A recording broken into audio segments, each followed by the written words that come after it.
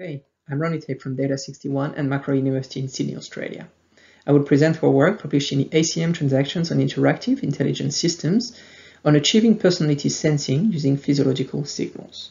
This work was carried out in collaboration with my colleagues from Macquarie University, the University of Sydney, and the University of Wisconsin-Madison. I would like to begin by acknowledging the Gadigal people of the Eora Nation as the traditional owners of the land from which I'm talking today, and pay my respects to the elders, past, present, and emerging. We're all different and the way we interact with others and the world is largely based on our personality. Being able to categorize and quantify personality has many benefits. Psychologists treating patients with psychopathy need to monitor their progress. As an HAI specialist, personality detection could also help you provide a different experience to shoppers with compulsive buying as opposed to more conservative profiles. Models such as the Doctrine, BIS/BAS, or Hexaco can address these needs. Our psychologists would closely monitor their patients' primary psychopathy scores for emotional aspects and the secondary psychopathy for behavioral aspects, for example. On the other hand, you may focus on BAS fun seeking for your compulsive shoppers, while you leverage the BAS drive, which reflects the pursuit of goals for your other shoppers. Currently, such data is acquired through well-established questionnaires but are typically long to administer and subject to manipulation because the questions are openly linked to the traits. So we design a framework for the objective detection of personality traits. Some stimuli are given to a user while we collect a range of physiological and behavioral signals from which we extract a series of features. We then use machine learning to predict the personality traits rankings of the user on the previous uh, inventory scales. To calibrate the models, we train them using supervised machine learning using ground truth data obtained through questionnaires. We wanted sensors which are reliable, relatively cheap, and easy to deploy in order to ensure our framework can be used in practice. We used eye tracking glasses, ETG, and galvanic skin response, GSR, which is also known as electrodermal activity and basically measures sweating. Both types of sensors were of particular interest as they have been shown to correlate with emotional states.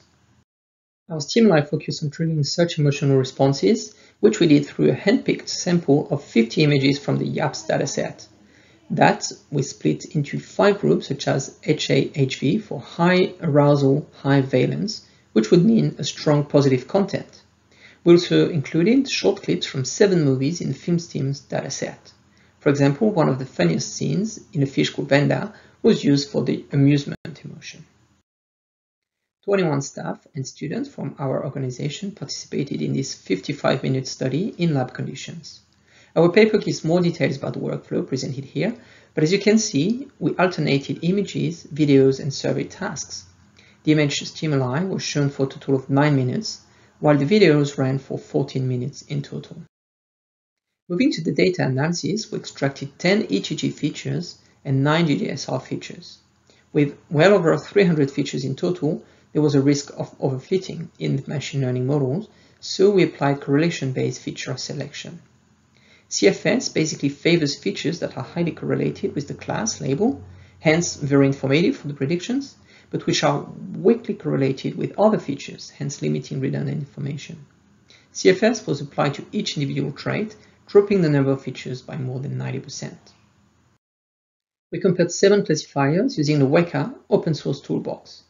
Since our sample population was small and not exhibiting any specific pathology, we binned the survey data into low, medium, and high, using equal frequency bins for each trait to ensure uniform distributions of subjects across the classes. We applied leave one out testing, whereby the model is trained using all but one participant and testing on the remaining one. This process is then repeated for each participant, and the accuracy of F1 scores averaged over all the repeats. When combining all traits, the naive Bayes classifier, NB, performed best for both ETG and GSR, as shown in the table at the bottom. We attribute this in part to the use of CFS, since the naive Bayes performance is adversely affected by the highly correlated input features, which CFS will reduce. We don't have time for thorough analysis here, so I refer you to our paper for detailed examinations of the results also including the F1 scores, which are not shown here. However, the comparative analysis of ETG and GSR shows that the former is slightly better predictor of the personality traits, although GSR performs better on primary psychopathy and tactics when taken individually. As hinted in the previous slide, Naive Bayes outperforms the other models globally and for most traits, with logistic regression, LR, and support vector machine, SVM, also performing well, in particular for BIS/BAS and some D3 traits. This could provide some flexibility when training models with larger populations, for example, as naive Bayes was typically much slower. Another interesting finding revolves around traits associated with affect.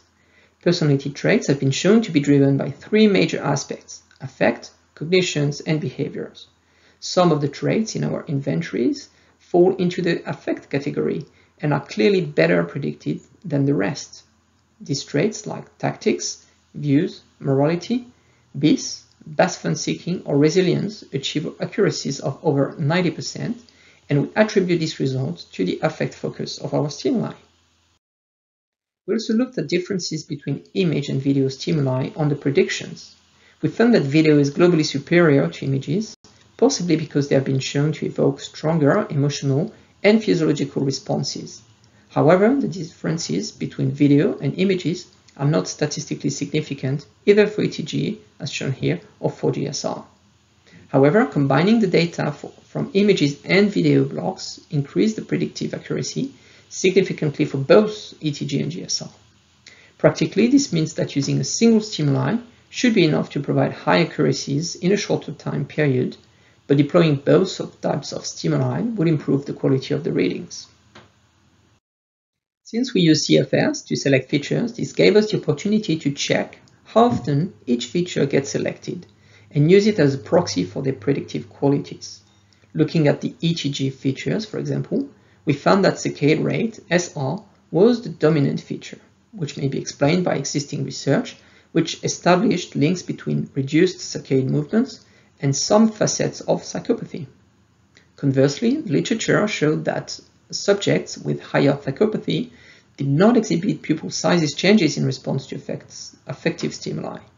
Our results corroborate this finding, as the vertical pupil size, PY in particular, is the least predictive feature for the D3 group. Turning to BIS/BAS, the blink rate, BR, was the most predictive feature, which is supported by previous research showing links between BAS and eye blink responses. Similarly, the saccade fixation ratio, SFR, dominated features for Hexaco, which is supported by, by existing findings of links between fixations and a number of Hexaco traits, extroversion, agreeableness, and neuroticism, which is the inverse of resiliency. So it was truly exciting for us to bridge our finding with past research, and I refer you to our paper to, for more of these, uh, especially using GSR. Now, can you guess what happened when we combined the ETG and GSR features? The combination further improved the accuracy, also improving results for individual traits almost across the board. In practical terms, this gives practitioners some flexibility around the equipment they need to deploy, since the individual sensors perform well on their own, but the combination can be used when further sensitivity is required. There is a lot more to discover in the paper, but to summarize things from high level, we believe our framework through the basis for objective personality trait detection using physiological and behavioral signals. This can provide fast readings since the participants simply need to watch a few images or video clips, and it provides more reliable results as the signals are difficult, if at all possible, to consciously control. Our implementation produced accuracies far superior to those observed in past research, and our analysis showed that there is flexibility in the deployment options. Whether due to cost, time, or other practical constraints, or in view of the traits to analyze, practitioners are able to select GSR or ETG as input signals, images or video as stimuli, and between a range of machine learning models. All combinations produced high results in our experiment, although combining stimuli and signals was eventually superior. We feel we have barely started this exploration and hope to carry on with larger participant pools, hopefully involving participants with specific pathology to gauge how extreme values may be ranked. We may also start tuning the machine learning models to increase accuracy. Thank you.